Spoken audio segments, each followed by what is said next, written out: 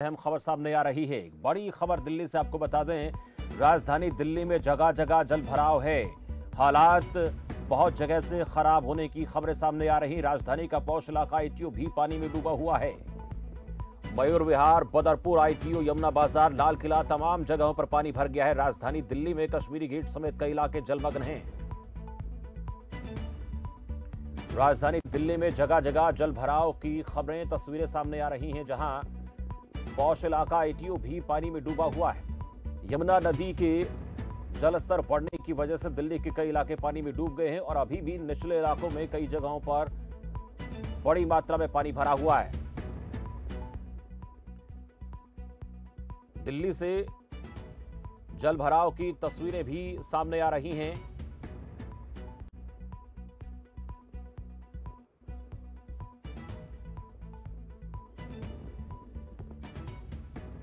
दिल्ली से हमारे संवाददाता अवनींद्र इस खबर पर ज़्यादा जानकारी के साथ जुड़े। अवनिंद्र, कश्मीरी गेट समेत कई जगहों पर जलमग्न होने की खबरें सामने आ रही। मैं आपको भी देख पा रहा हूँ, जिस जगह पर आप खड़े हैं, वहाँ पर भी पीछे पानी भरा हुआ है। कौन से इलाके में आप हैं? और फ़िलहाल पानी को लेकर क्या स्थिति है? कल जो तस्वीरें सामने आई थी, क्या उससे भी ज़्यादा जगहों पर पानी भरा है? कुछ इलाकों में पानी के नीचे उतरने की खबरें सामने आई हैं क्या? अवनींद्र। जी शमशेर बिल्कुल। देखिए, हम आपको बता दें, इस वक्त जो मेरी मौजूदगी है, दिल्ली आईटीओ मार्ग पे है, जो सबसे ज़्यादा पौष इलाका है, और आज बात करें, दिल्ली पानी पानी हो गई। कहीं कहीं जो दिल्ली सरकार है, उसकी तरफ़ से कहा गया है कि यमुना जी में जो है, जल स्तर घट रहा है, यानी रोक दिया गया है, जो अतनी कुंड का पानी था। लेकिन अगर बात करते हैं दिल्ली में तो दिल्ली में आईटीओ मार्ग पे कल पानी नहीं था, और आज की जो तस्वीरें हम आपको दिखा रहे हैं, दिल्ली के आईटीओ मार्ग की हैं और इस आईटीओ मार्ग पे है, जो दिल्ली का लगातार जल स्तर बढ़ता जा रहा है, जो दिल्ली की जनता है वो कहीं कहीं परेशान नज़र आ रही है। आपको तस्वीरें दिखाएँगे जो कुछ लोग हैं बाइक से जा रहे हैं, साफ़ तौर से उनकी बाइकें बंद हो गई। कुछ लोग धक्का लगा रहे हैं। तमाम जो दिल्ली की जनता है, वो दिल्ली की जनता जो है, कहीं कहीं अब पानी से परेशान नज़र आ रही। लगातार जब गर्मी से परेशान थी तो दिल्ली की जनता साफ़ तौर से कह रही थी कि बारिश होनी चाहिए। लेकिन अब जो ये तस्वीरें देख सकते हैं, ये आईटीओ चौराहे की तस्वीरें हैं, जिसको कहें, दिल्ली पुलिस ने ब्राइकेटिंग कर दी, जो काफ़ी ज़्यादा ये व्यस्त इलाका है दिल्ली का। बात करते हैं तो ये लक्ष्मी नगर की तरफ़ इधर जाता है ग्रेटर नोएडा और नोएडा की तरफ़ जाता है। इंद्रप्रस्थ की तरफ़ जाता है और राजघाट की तरफ़ जाता है। तमाम ऐसे दिल्ली के इलाके हैं जो जलमग्न हो गए हैं जो बात करते हैं। अगर राजघाट की तो अवनेन्द्र एक बात थोड़ा समझाने का प्रयास करें कि एक तरफ़ तो कहा जा रहा है कि यमुना का जलस्तर कम हो रहा है लेकिन जैसे आपने बताया कि आईटीओ पर भी आज पानी भर गया है तो ये कैसे हुआ? इसके पीछे क्या कारण है? क्या वो पानी जो धीरे धीरे करके यमुना नदी से आ रहा था वो निचले इलाकों में बढ़ता चला गया और यहाँ तक पानी पहुँच गया? क्या कारण नज़र आया इसका? देखिए, यमुना जी जिस तरीके से बाढ़ पे थी, जो खतरा के निशान से ऊपर बह रहे थे, उनका जो जल है, वो कहीं कहीं दिल्ली के अपौस इलाके में दिखाई देने लगा। जहाँ पे मेरी मौजूदगी, यहाँ पर तमाम वीआईपी ऐसी बिल्डिंगे हैं। बात करें चाहे दिल्ली पुलिस के तमाम ऐसे वीआईपी क्वार्टर हैं, जहाँ पर जल भराव हो गया। यहाँ के जो दुकानदार थे, उनकी दुकानें बंद हो गई। और साफ़ तौर से बात की जाए तो दुकानों के ऊपर बैठे हैं। तमाम जो दिल्ली के मुख्यमंत्री अरविंद केजरीवाल है, उनकी तरफ़ से कल रात में ज़ीरो ग्राउंड पर कहा जाए, उन्होंने भी जायजा लिया। तमाम ऐसी सड़कों का यमुना बैंक गए। उनकी तरफ़ से तमाम जो उनके अधिकारी हैं उनसे भी जायजा लेने के लिए कहा गया और जल्दी से जल्दी जल निकालने के लिए। और जो दिल्ली की जनता थी उन्होंने ये भी जानकारी दी कि उन्होंने तीस हज़ार लोगों को अभी तक दिल्ली से जो है निचले स्तर से जो बाढ़ के क्षेत्र से थे उन्हें सुरक्षित निकाल लिया। लेकिन जो दिल्ली ठीक है ये ये राहत और बचाव कार्य चल रहे हैं। एक बात और मैं जानना चाहता हूँ आपसे क्या और संभावनाएँ बन रही है? क्या इस तरह से पानी और भी आगे की तरफ़ बढ़ रहा है या आईटीयू तक आकर रह गया है? क्या और भी ऐसे इलाके हैं जो इस पानी की वजह से इसकी चपेट में आ सकते हैं? देखिए अभी जो दिल्ली का जल स्तर है वो बिल्कुल नहीं घटता दिख रहा है। चाहे आपने तस्वीरें लाल किला की देखी हो तो पूरा जलमग्न है।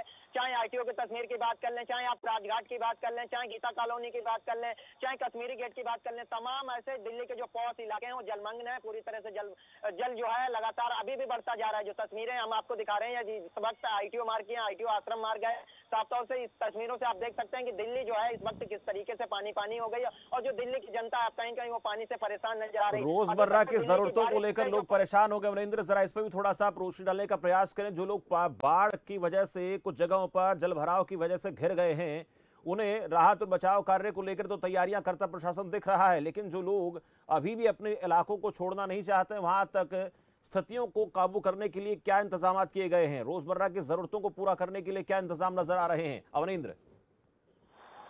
बिल्कुल देखिए आपको बता दें लगातार जो दिल्ली के मुख्यमंत्री अरविंद केजरीवाल हैं वो अपने अधिकारियों के साथ बैठक कर रहे हैं। चाहे वो एमसीडी के अधिकारी हों या सचिवालय के अधिकारी हों तमाम बड़े छोटे अधिकारियों के साथ। और जब जब उन्होंने कहा कि हम अधिकारियों के साथ बैठक करें पचास वोट जो उन्होंने जनता के लिए रेस्क्यू करने के लिए कल उन्होंने घोषणा की थी चलाए साफ़ तौर से उन्हें रेस्क्यू भी किया जा रहा तमाम ऐसी वीआईपी बिल्डिंग है जहाँ लोग फंस गए थे उनको रेस्क्यू किया जा रहा सुरक्षित निकाला जा रहा है। हम्म। लेकिन अगर खाने पीने की बात आती है तो साफ़ तौर से जो जनता है वो यही कह रहे हैं कि दिल्ली सरकार ने अभी उन्हें खाने पीने की किसी तरीके की कोई व्यवस्था नहीं की। हालाँकि उन्हें सुरक्षित तो निकाला जा रहा है लेकिन हम्म। वो कैसे खाएँगे? तमाम ऐसी झुग्गी झोंपड़ी वाले थे जो घर से बेघर हो गए लगभग पाँच से सात हज़ार झुग्गी झोंपड़ी वाले लोग थे चाहे मयूर विहार फेस वन की बात कर लें आईटीओ की बात कर लें तमाम ऐसे जो मार्ग हैं जहाँ पर झुग्गी झोंपड़ी उनका साफ़ तौर से कहना है कि वो घर से बेघर हो गए। अब उनकी जो रोज़मर्रा की रोटी है वो कैसे चलेगी? जो पर डे अपनी ठेली या रोज़गार के ज़रिए ही वो भोजन करते थे तो उनके लिए सरकार सोचे। साफ़ तौर से जो लोग हैं उनके तमाम तरीके से बयानबाजी भी और इस पर अगर विपक्ष की बात करते हैं तो चाहे भारतीय जनता पार्टी की बात करें या कांग्रेस पार्टी के तो कहीं कहीं आम आदमी पार्टी で को भी कहते हुए नज़र आए। तमाम जो नेता विपक्षी नेता हैं वो लगातार सरकार पर हमलावर होते आए हैं। उन्होंने साफ़ तौर से कहा हर साल बाढ़ आती है तो इसका सरकार जो है पहले से इंतज़ाम करती है और सरकार को पता होता है। जो अरविंद केजरीवाल है वो इस तरीके की बयानबाजी कर रहे हैं कह रहे हैं बारिश है इसमें कुछ किया नहीं जा सकता। तो तमाम तरीके की बयानबाजी देखने को मिली। लेकिन दिल्ली की जो जनता है वो काफ़ी परेशान नज़र आ रही है। लगभग पाँच से सात हज़ार लोग जो है जो यमुना जी के पास के इलाके के हैं वो घर से बेघर हो गए हैं पौष इलाकों में उनके तो ठहरने के इंतज़ाम करने का दावा किया गया था। नरेंद्र की उनके लिए टेंट की व्यवस्था की जाएगी स्कूलों में ठहरने की व्यवस्था की जाएगी? क्या ऐसा कुछ आप देख पा रहे हैं? या फिर खुले आसमान के नीचे पानी के बीच में लोग अपनी ज़िंदगी बसर कर रहे हैं?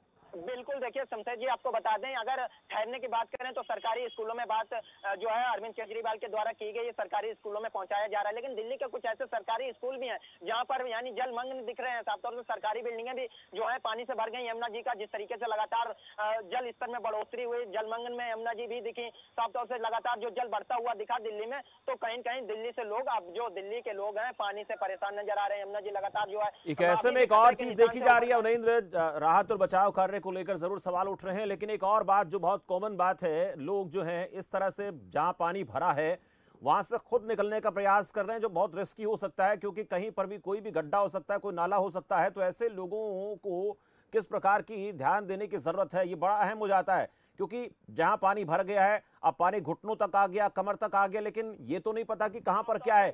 ऐसे लोगों के लिए क्या कहेंगे? उन्हें देखिए तस्वीरें दिख रही हैं कहीं कहीं अब देखने वाली बात होगी। अगर कहीं सीवर होता है, गड्ढा होता है तो लोग उसमें गिर जाते हैं। तो इस तरीके की भी तमाम तस्वीरें आई और ये जो सबसे वीआईपी यानी कहा जाए सबसे व्यस्त मार्ग है आईटीओ का आश्रम की तरफ़ जाता है। यहाँ से डीडीए मार्ग जाते हैं। अगर बात करें, भारतीय जनता पार्टी का नेशनल ऑफ़िस है, आम आदमी पार्टी का ऑफ़िस है, प्रदेश कार्यालय, कांग्रेस का है, जो ऐसे तमाम जो बिल्डिंगे हैं, वो काफ़ी वीआईपी जो बिल्डिंगों की बात की जाए, तमाम तमाम ऐसे वीआईपी ऑफ़िस हैं, वो इस वक्त इसी मार्ग पर है।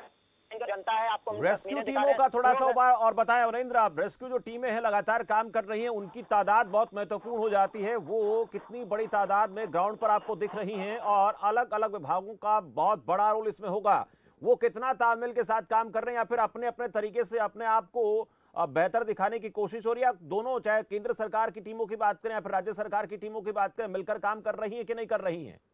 बिल्कुल, देखिए, केंद्र सरकार की टीमें और राज्य सरकार की टीमें दोनों मिलकर रेस्क्यू करने का काम कर रही हैं और दिल्ली के तमाम जो ऐसे इलाके हैं जहाँ पर ज़्यादा जल स्तर देखने को मिल रहा है, चाहे हम राजघाट की बात कर लें या कश्मीरी गेट की बात कर लें तो वहाँ पर लोगों को रेस्क्यू किया जा रहा है। जो वोट है, उनके वोट के द्वारा तमाम उनके अधिकारी भी मौजूद है। दिल्ली पुलिस के जवानों की बात करें तो ऐसा जहाँ पर ज़्यादा जल स्तर देखने को मिला, वहाँ पर तैनात कर दिए गए। दिल्ली सरकार और केंद्र सरकार के बीच मिलकर कार्य किया जा रहा है, जबकि दिल्ली सरकार ने जो गृह मंत्री अमित शाह है, उनको पत्र लिखा था और उनसे संभव मदद मांगी थी। तो कहीं कहीं केंद्र सरकार भी संभव मदद जता रही है।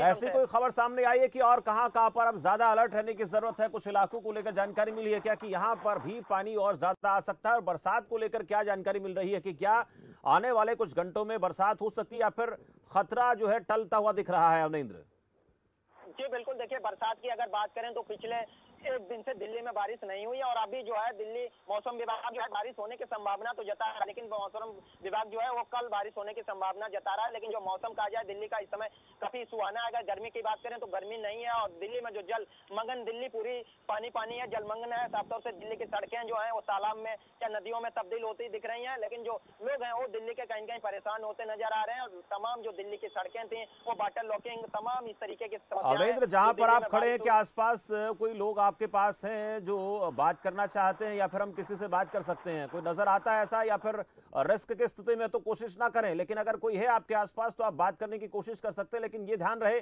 कि रिस्क लेने का प्रयास ना करें गहरे पानी में जाने की कोशिश ना करें। उनसे बातचीत करने की कोशिश करेंगे। कहाँ से आए हैं कहाँ जाना है कितना ज़रूरी काम है? कुछ लोग पैदल जा रहे हैं हाथ में चप्पल साधे हैं कहाँ से सर आए हैं किधर जा रहे हैं आप? क्या? मैं न्यू दिल्ली से आया हूँ।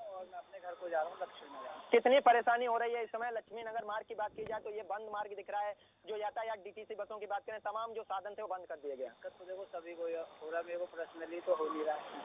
तो मैं तो घूम घूम के मैं इधर ही से जा रहा हूँ पहले मेरे को लंबा घूमना पड़ रहा था इसलिए मैं इस रस्ते को ले लिया।